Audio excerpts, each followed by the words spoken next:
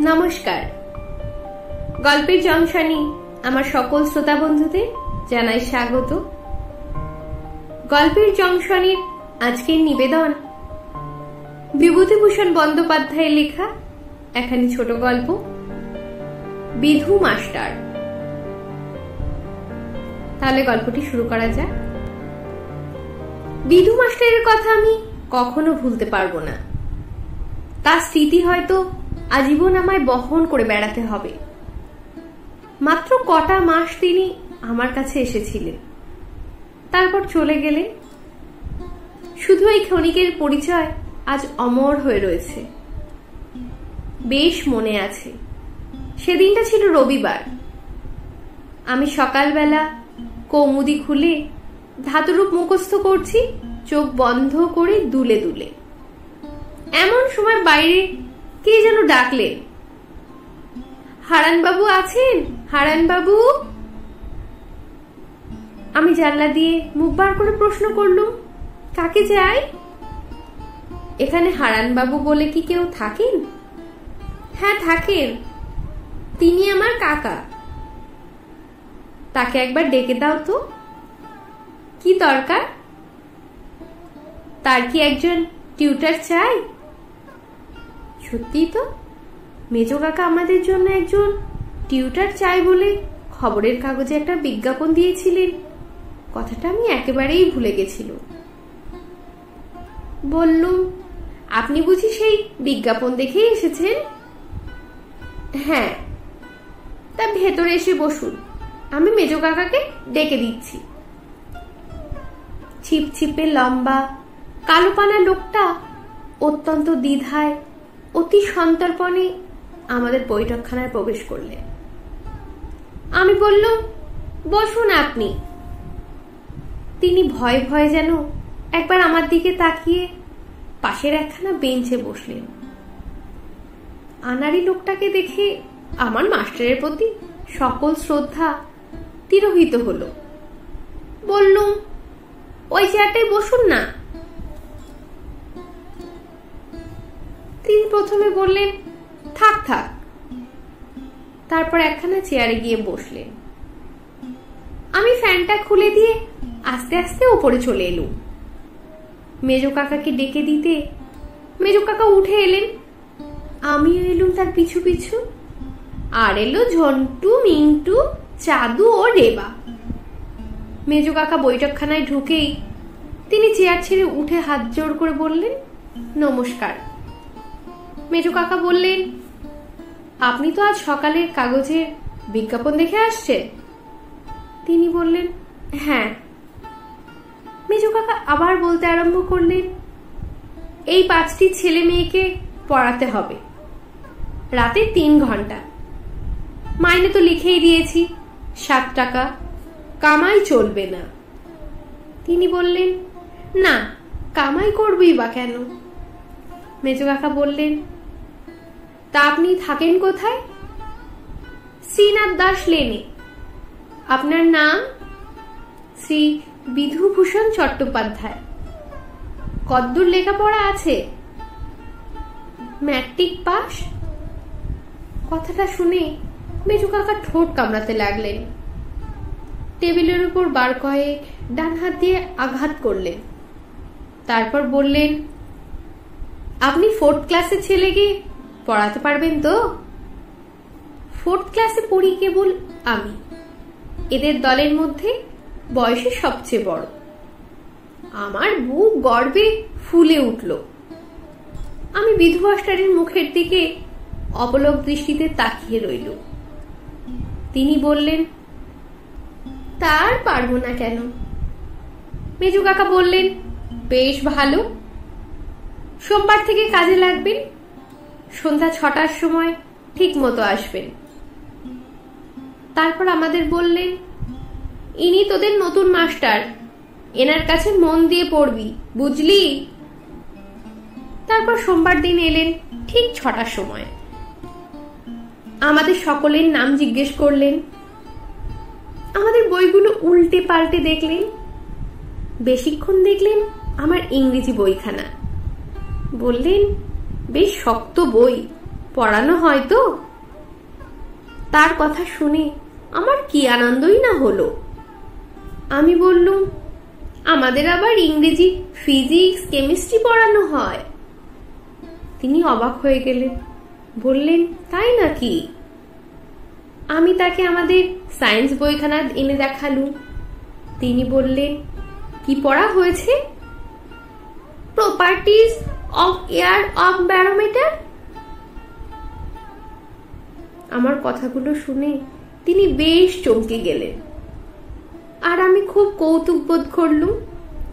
তিনি তখন রেবাকে জিজ্ঞেস করলেন, তোমার নাম কি, খুকি? রেবা লজ্জায় মুখ নিচু করে রইল। নতুন লোক দেখলে ওই ওর ওই রকম লজ্জা। আমি বললুম, বল না রে কি নাম তোর? তিনি তখন রেবার পশমের মতো কোমল চুলে হাত বুলিয়ে দিতে লাগলে। রেবাও অনেক কষ্টে বলল লেবা ও র উচ্চারণ করতে পারে না। তাই বললেন, বাহ, বেশ তো তোমার নাম, খাসা নাম তো তোমার। কিন্তু দিন যত বয়ে গেল, রেবার লজ্জাও তত কমে যেতে লাগল। আর বিধু মাস্টারও রেবাকে বেশি ভালোবাসতে লাগলেন শুধু রেবাকেই না, তিনি আমাদের সবাইকে খুব ভালোবাসতেন। তিনি পড়াতে আসবার প্রায় প্রায় প্রতিদিনই একজন ফেরিওয়ালা সুর করে হেঁকে যেত। চাই অবাক জলপান, স্বাধীন ভাজা, ঘুগনি, দানা।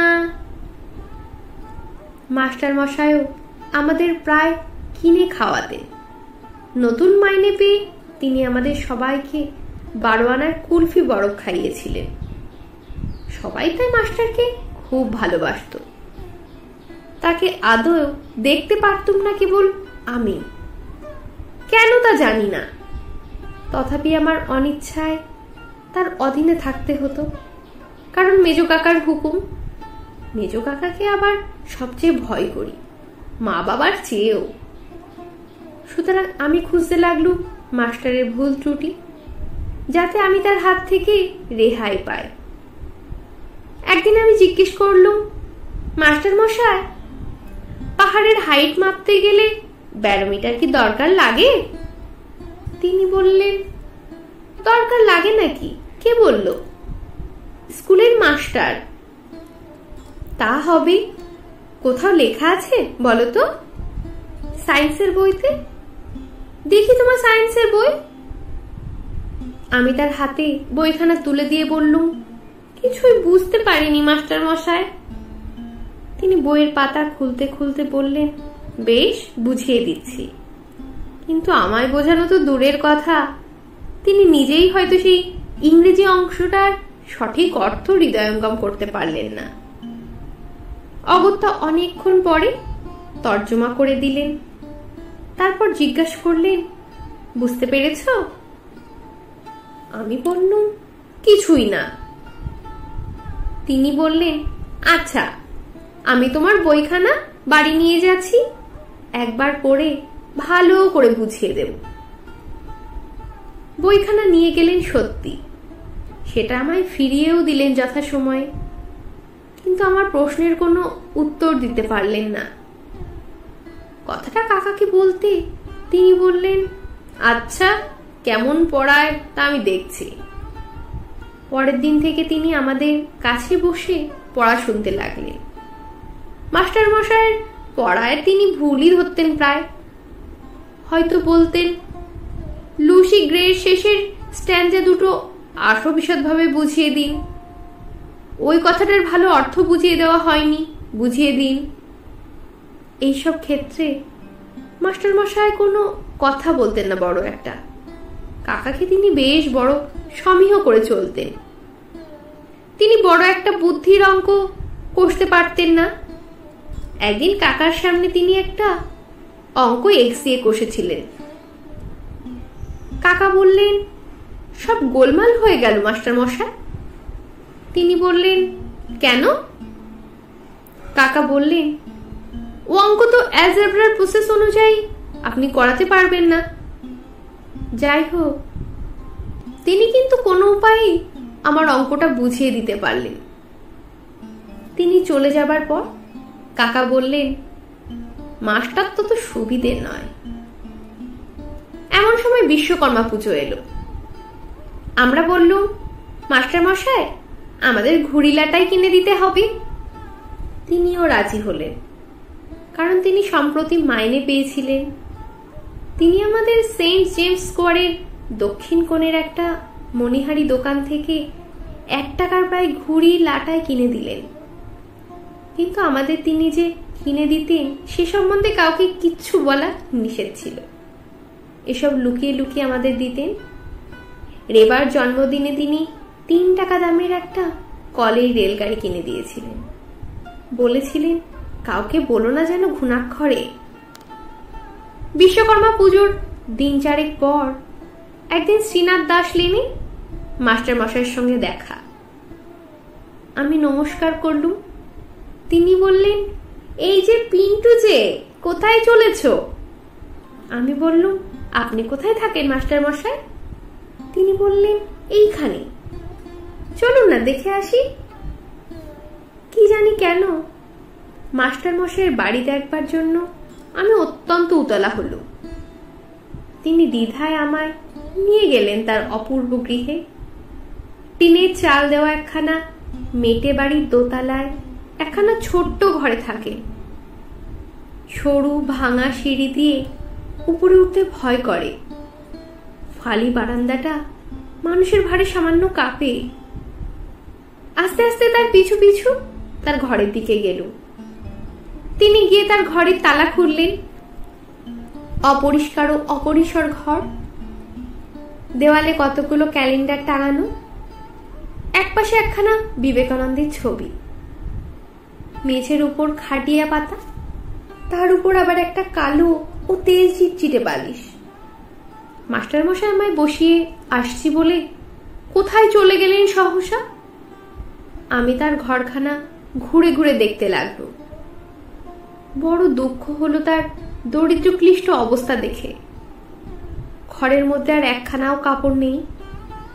যদিও বা একখানা আছে, তাও শতচ্ছিন্ন এবং অত্যন্ত কালো।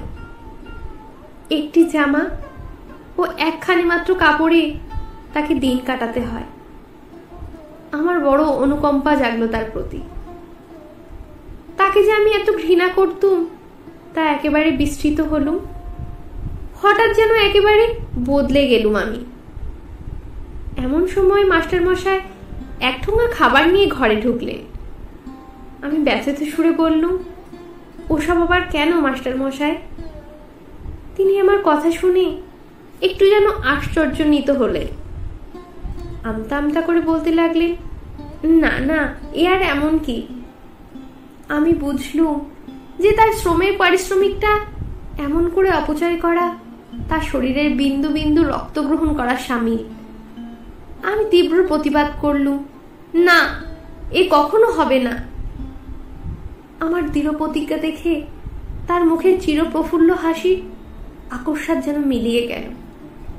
তিনি মুখ চুল করে বললেন, এ কি বলছো পিন্টু? আর সাহস হলো না কিছু বলতে। যাই হোক, বাড়ি ফেরার পথে সেদিনে আমি প্রতিজ্ঞা করলুম যে মাস্টারমশাই যাতে আমাদের জন্য তার মাইনে থেকে কিছু খরচ না করেন, তার ব্যবস্থা করতে হবে।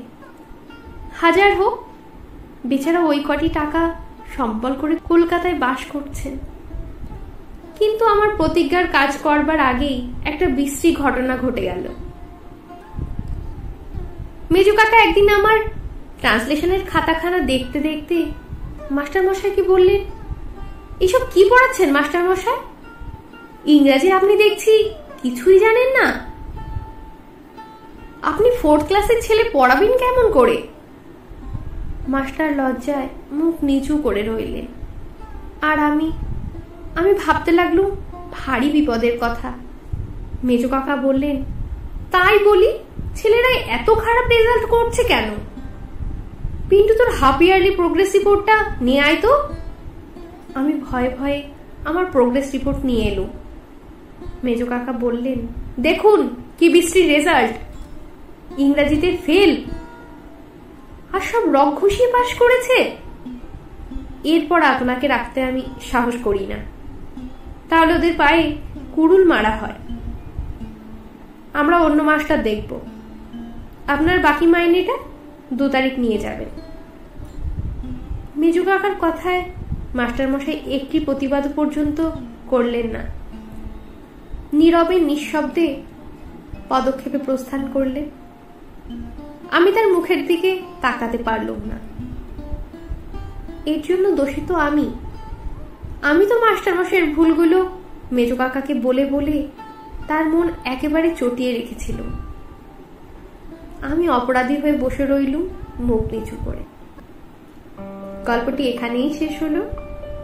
আজকের গল্পটি যদি আপনাদের ভালো লেগে থাকে তাহলে প্লিজ আমার চ্যানেলটিকে লাইক শেয়ার এবং সাবস্ক্রাইব করে দেবেন। ধন্যবাদ।